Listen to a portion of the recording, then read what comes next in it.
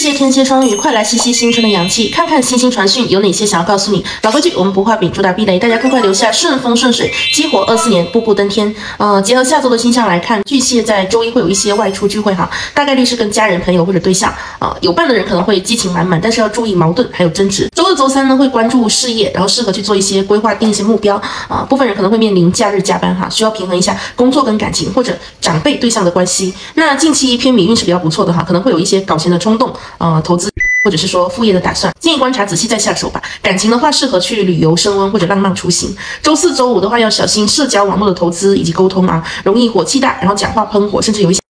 小心跟身边人闹矛盾。不过周四下午午后就会缓解很多。如果说有一些出行的计划，就要去小心这两天娱乐过头，然后破大米哈。呃，部分人也会知道一些秘密，或者因为某些事情影响心情，甚至是看清楚一个人的真面目。那周六日的话呢，偏米运势比较强的，可能会有一些忙名进账，但是呃容易胡思乱想哈，或者是说熬夜、失眠、牙痛，然后可能会对某些事情就比较执着，嗯，难以释怀吧。近期的话都要小心一些不太靠谱的投资啊，尤其是从网络社交中得知。的哈，这段时间也建议去做好米米的管理。部分人会处理跟米米投资相关的事啊，或者是说有一些焦虑、缺乏安全感。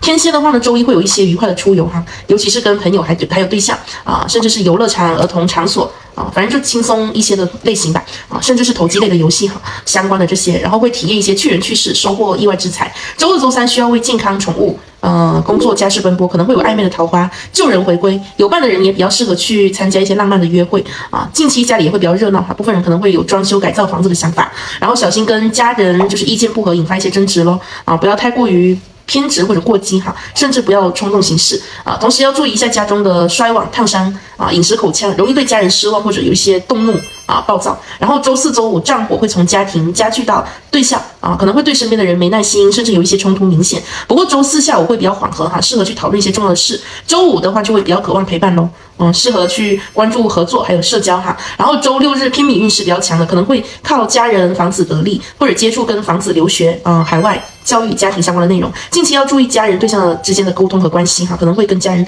谈心交流感情。嗯，工作秘密或者跟钱相关的事情。双鱼的话，周一适合外出聚会，然后容易遇到社交网络中的一些嗯桃花，嗯，不过容易迷糊哈，感情也会有一些情绪化啊，建议守住内心，不要被外界影响。周二、周三呢，就会去处理米米相关的事，米运是比较不错的，小心情绪消费没有节制，可能会吃到一些呃美食大餐啊，或者请客吃饭，但是要做好财务管理，不要去轻易相信网络社交中的投资啊，比较容易会接触灰色收入，然后要小心法某某律方面的纠纷。那接下来一段时间都比较容易犯小人，吃大饼，或者是有一些精神的压力，熬夜、亢奋或者半夜睡不着都有可能啊，甚至牙痛。周四周五的话，容易内心窝火、闷闷不乐，外出就要注意安全。有心事也可以找身边人谈心唠嗑，不要有太大的压力。周四午后就可以去处理一些重要的事情，会比较理性，也可能会有出息。周六日适合陪伴家人或者谈心啊，睡大觉，宅在家里看电视剧，其实挺适合独处的哈。学习、看书、复盘或者接触一些心灵、精神的内容都可以。然后这段时间要注意跟家人长辈的相处，避免冲突。部分人可能会回忆过去啊，梦到前任，然后找到一些旧物。二四年了哈，很多事情要翻篇了。好，那没什么了哈，祝大家都新年快乐，一切顺利啊，愉快的度过下周。关注点赞，记得大家，拜拜。